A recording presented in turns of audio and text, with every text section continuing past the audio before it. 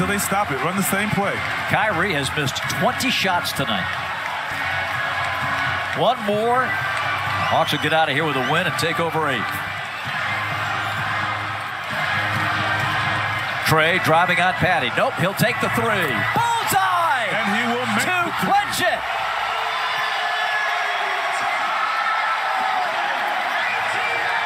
Thirty-two for Trae.